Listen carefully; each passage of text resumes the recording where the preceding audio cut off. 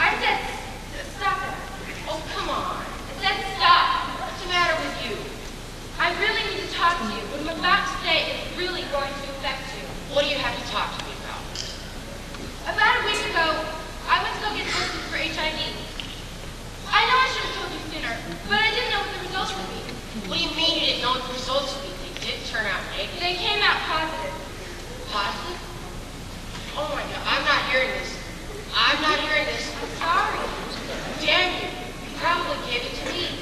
Damn it, you stupid.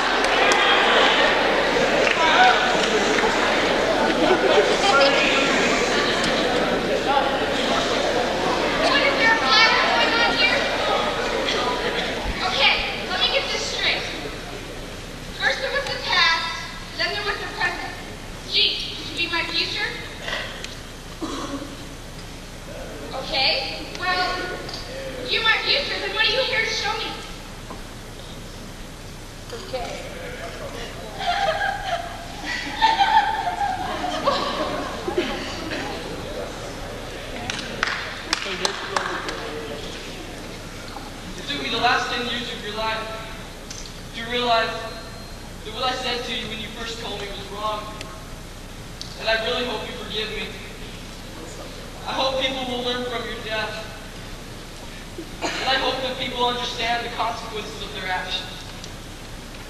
But it's sad that you had to give your life to teach someone else a lesson.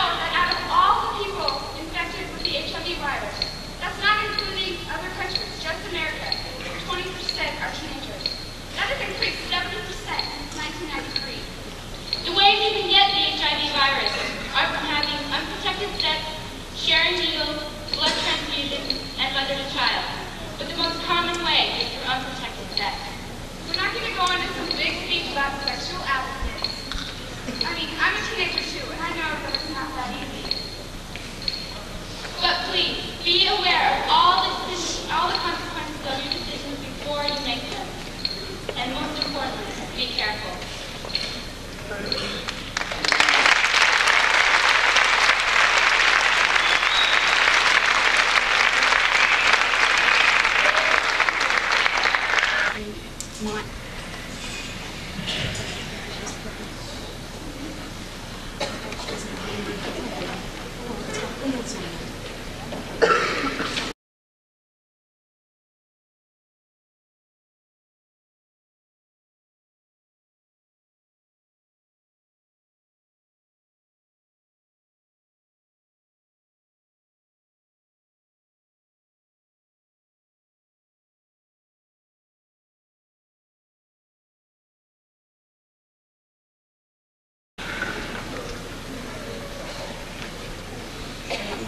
speak today. My name is Diane, and Chris is with me. With the Red Cross we're volunteers.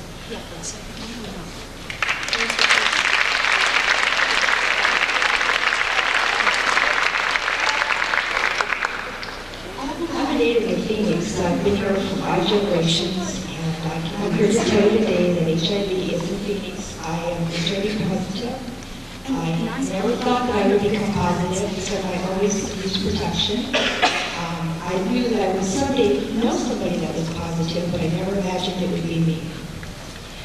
That changed for me in 1993. Um, I tested positive on September 23rd, 1993. And I had been dating a man that I met in March, and we had been having unprotected sex because I trusted him and believed him.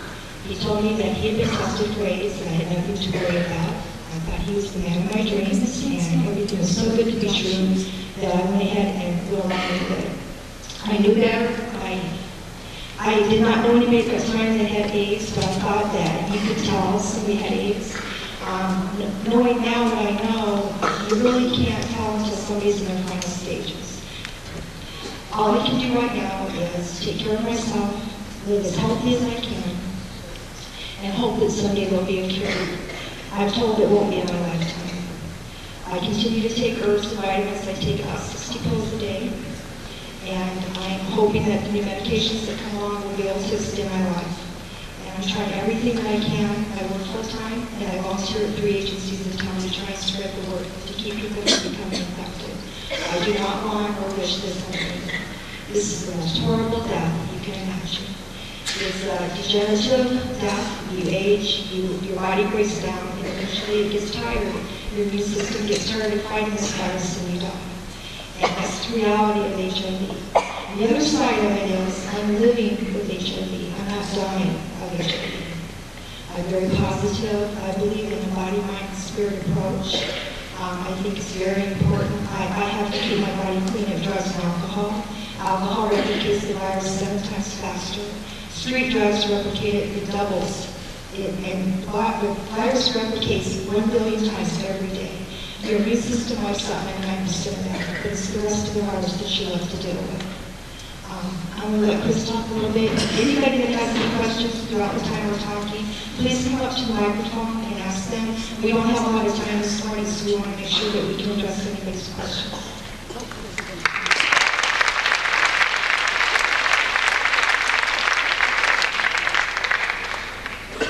Chris. As uh, she talked about the five percent of long-term survivors, I'm, I'm that five percent. I uh, was first diagnosed with full-blown AIDS in 1986. Back then, uh, there really wasn't any place to go. They really didn't know what to do. The doctors didn't know what to do either. Uh, I've been really sick off and on. Uh, my T cell counts are well below 100. A normal person's from 1800 to 2000. I have to drink bottled water. I cannot drink tap water. I can't go to Circle K and buy soda because it's mixed with water and the ice. Because what might make you sick will kill me. I don't have the strength to go out and do dancing like I used to. I can't you use condoms and you do not do drugs. It's simple. That's all you have to do, and you will not be affected by this disease. This disease does a lot of things. Because it not only affects you physically, but it affects you mentally. And I have traveled that terrible road of denial with this disease. It really cost me something I never was infected. Because that person that infected her was me. That's another thing that we have to do is take responsibility for our own actions. It's no one else. We have to do it ourselves. No one else will do it for you. Your mom can't take care of you. Your mom's not going to be the one that's going to be sick. You are. Your friends sick. You are. This is not a fun way to go. This is not the way to go at all. Half your friends don't even want to know you again. Once you've been diagnosed. They're scared to death.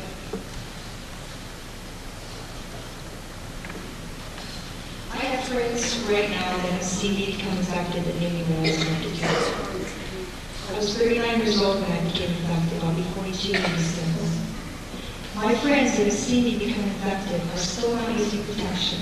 Some have learned from us and others still think that they can tell, that they can trust someone, or they know somebody's sexual history of everybody that person has slept with. If one person has two partners, and those two partners have two partners. In a 12-year period, 8,100 people will be exposed to this virus from one person in a 12-year period. You need to find out, you need to be tested, because if you do find out that you're positive, there is so much help out there for you. You can become with the support group. You have a, lo- a better chance of survival, a long-term survival, because you can find out what you need to do nutritionally, spiritually, it's a body, mind, and spirit combination that will help keep you alive and keep you sane. You will not, you do not have to go through this alone. Approximately five years ago, statistics in Phoenix were they averaged 1,500 people were infected with the HIV virus. They figure today 12,000 people are infected. These are 12,000 people that walked into a clinic and been tested and tested positive. These are not the people that do not know about. These are not the people that have moved here from other states. Those statistics are from these other states they get tested in. These are only the people that they actually know have tested positive. As Chris said, it's a matter of choice. For the men, I believe you need to be responsible because Chris is living with a lot of guilt of what he's done to me. He, he completely changed my life. He took that choice away from me because he lied to me. He knew he had AIDS and he lied to me about it. This is something that he's dealing with. For women, please have enough self-esteem and self-respect to make that person If this person is not going to a do you really want to have sex with them? I have a friend that is uh, 17 years old. She is HIV positive. She became positive when she was 16.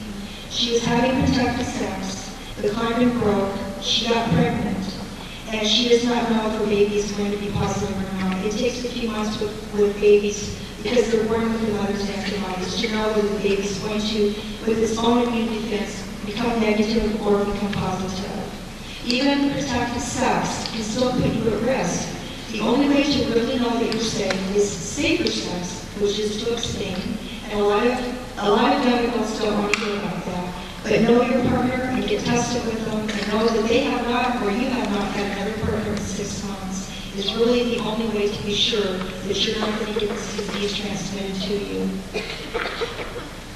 As far as the blood supply, a lot of people think that they're not at risk. Um, this is a target group that are becoming highly infected because they're in a monogamous relationship, or at least they think they are, and find out later that they have had this brought home to them. Even our blood supply, there's a six-week period where the antibodies have not developed in the blood. So if you go to get blood, they cannot detect them if you've been infected in a six-week window period. So it's still getting into the blood supply. They'll tell you that it's safe, but I know people that have gotten it from transfusions not that long ago. You still have to be careful. Um, I try and advocate for people if you're going to have elective surgeries to give blood in advance and have your blood on reserve so that you don't have to take a chance of being infected by somebody else's blood. This is how serious this is. The leading killer of young adults, the leading killer ages 25 to 44 is AIDS. That means if you died at 25 from HIV or AIDS, you got infected when you were a teenager. The survival rate right now is anywhere from three years to 10 to 15 years. We don't know where this is going to go or how it's going to, the statistics are going to change. Um, I have a few statistics that I wanted to, um, to let you know that 1 million children currently are HIV infected and another 10 million will be orphaned due to AIDS by the year 2000. 75% of all AIDS cases worldwide were transmitted by heterosexual sex. Women and children are the fastest growing segment of the population who are infected with HIV. The number of teens with the HIV virus has increased more than 70% in the last two years. Of the 1.5 million Americans infected with HIV disease, 20,000 or 300,000 teens are HIV positive. These are only the ones that they know about. They do not have statistics on the ones that they speculate have been infected. How many people you, I know of people that do not want to be tested specifically because it would ruin their sex life. Fear does that? Because there's people that are running around out there that probably know they it, but they don't want to know they it. That is something that people are looking at. You are the next targets for this. Only you can prevent it. No one can do it for you. Only you can. I look at you and I see nothing but potential. Not for having the disease. You are the next group of people that's going to be running this country. There won't be any of you left if you're not using protective steps to run the country. Also, even if you, if you have HIV, it's still necessary to use protection. Uh, I know people that think, well, well, now I have HIV, I don't have to worry about protection. The virus is so insidious and wants to survive so badly that it will mutate. You can get multiple strains of the virus. You can be infected by multiple partners, and the virus will mutate, and it is one of the reasons that a lot of people go faster and have more opportunistic infections. We have to have protected sex because neither one of us can handle transference of bacteria. Our bodies can't fight that. Without an immune system, the reason for the water that we have to drink purified or distilled water is because they've detected cryptosporidium in the water Phoenix. It made 100,000 people sick in Milwaukee. It's killed quite a few people nationwide, and some of the water plants test it and do not.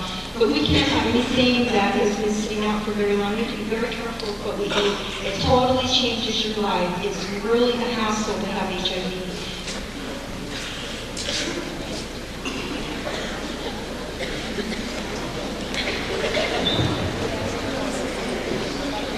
first found out that you had AIDS, were you afraid of dying? Are you afraid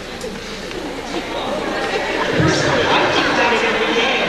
Every time I take 30 pills in the morning, 30 pills at noon, and I take my antivirals, um, I think about dying all the time. I've been to my funeral probably 300 times. I have it planned, I know what I want. I've been to enough funerals, I know that there's going to be many more, but yes, you think about it. I've got a low-grade fever every day. I have not run a fever for over two years. That means my body always have infection. And no matter what the doctors do, what medications I take, I will always run temperature every day. It's just a fact. So yes, you're very aware of what's do you hate the person that gave you AIDS? This is the man that affected me. You know, the, the question, we went on the Edge radio, radio show after we spoke with Greg McGinnis, and somebody called in and said, I want to talk to that lady that forgave that guy that infected her. How did she do that? And my reason for forgiving him and staying with him is, and the way I found out is I had been dating him for six months, and his sister was riding with me in the and she looked at me one day and she said, how long have you been HIV positive? And I kind of turned white, my mouth dropped open, and I said, what are you talking about? And she said, well, didn't you know that my brother has AIDS? So I drove as fast as I could, I kicked down his front door, and I said, what the hell did you do to me? And he still denied it. He still denied that he had infected me with HIV. I went and got tested, and my first test was indeterminate. I forgave him because of the way he treated me in the six-month period we'd been together. And I judged him on that, not this one thing.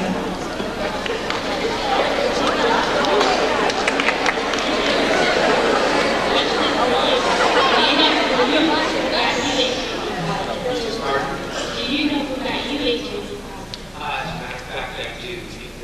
two girls and a guy. And, uh,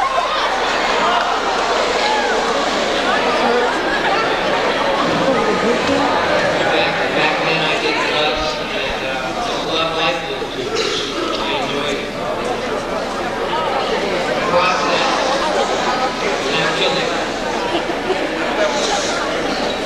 was guys still sexually, sexually active?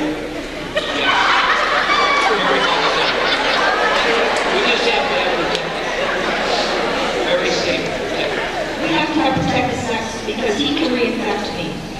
I can get, even though I have the strain of virus that he has, it's mutated in my body. So if he reinfects me with the HIV virus again, it will mutate again. And Chris was an IV drug user. That's how he became infected. He shared a needle with, with three other people, and that's where he became, pregnant.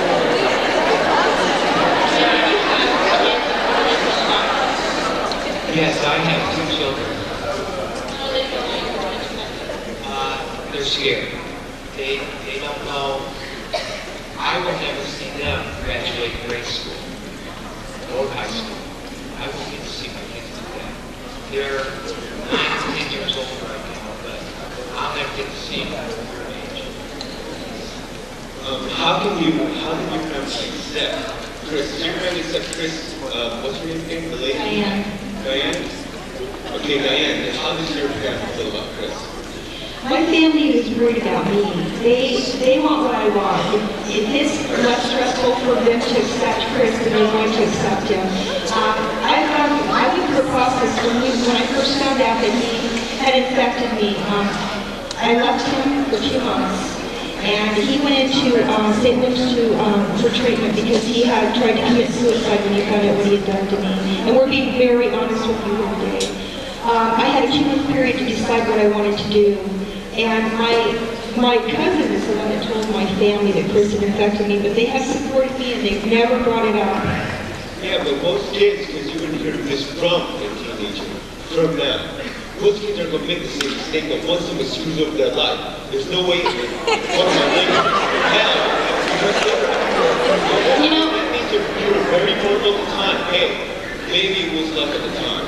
But I mean, this lasts for your entire life.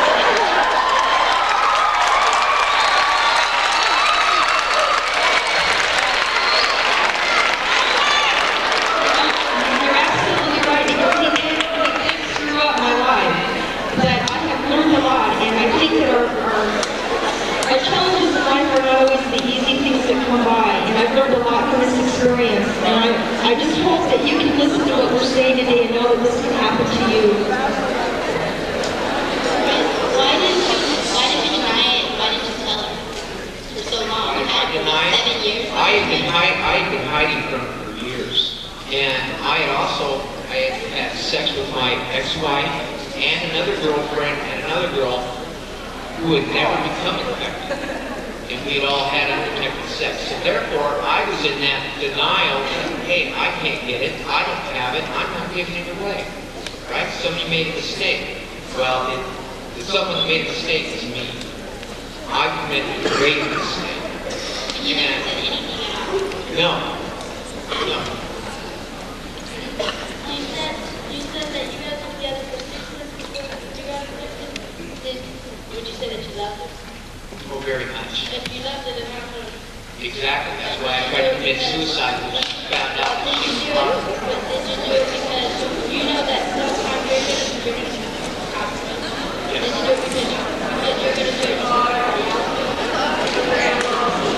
he knew that if he gave this to me, that I would, or that if I had the choice, he would, I would not stay with him. He took that choice from me, but he was afraid that he would lose me if he told me. And this, we're still in counseling. We go to counseling. There's been a lot of anger in this relationship, but we are working through that.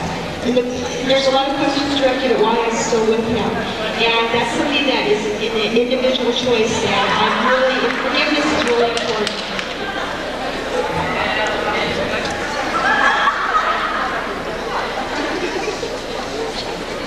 How many friends, how many friends have both of you lost because of the virus? I've lost 25 in two years, and I have friends right now that are sick that probably won't make it for the next few months. Chris has been infected nine years, and he's seen a lot of people die in the nine years he's had this. I don't know any, I don't know of anyone that was infected when I was, that I knew in 1986. None of them are alive. I'm the only one that's left alive. um, if you guys keep on having sex more, will it like spread faster? Yes, if we don't have protected sex, it'll spread a lot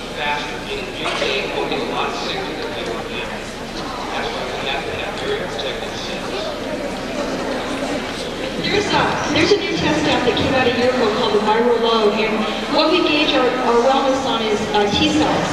And the viral load tells you exactly how much virus is in your body. The higher the amount of virus in your body, the more chance you have of becoming sick and the closer you are to death.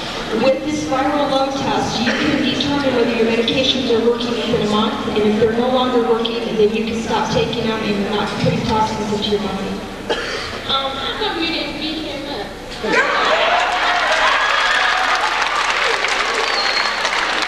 She did. I beat him up with every word and everything I could think of, and we, we, I never got physical with him because it wasn't going to do me any good. When I got my test back, I knew I was going to be positive. I had been in the emergency room in July. Um, I knew I was sick. I had bruises on me. I knew that there was something wrong with me, and I did not know what it was. I had even been to Planned Parenthood and, and had some uh, female tests run, and they said you're having too much sex. They never even suspected that I had HIV. They just told me I was having too much sex and I needed to quit having so much sex. And that was really disappointing to me because Planned Parenthood is an advocate of HIV education.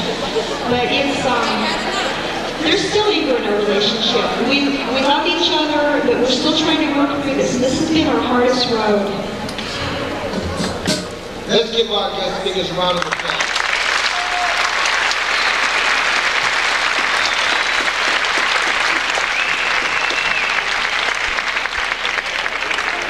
Those of you that still have questions, the one, two, or three of you that I've turned away, if you still want to ask a question, why don't you meet our guest speakers over here, and then we'll get you on to class right after that. Um, you've been a wonderful audience today. You've been really attentive and quiet. We really appreciate you. Let me make this last comment. We have students presently waiting outside to get in. We need to have you all exit through these two doors.